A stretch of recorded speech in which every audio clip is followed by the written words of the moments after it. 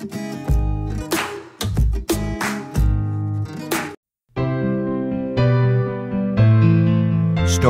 4 I Care.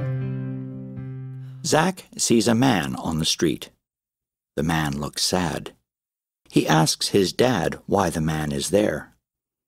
His dad says, There can be many reasons for that.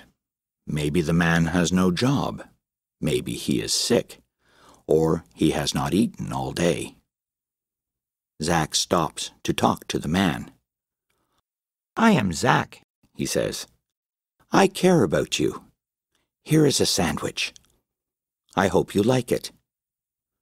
Thank you, Zack, the man says and takes the sandwich.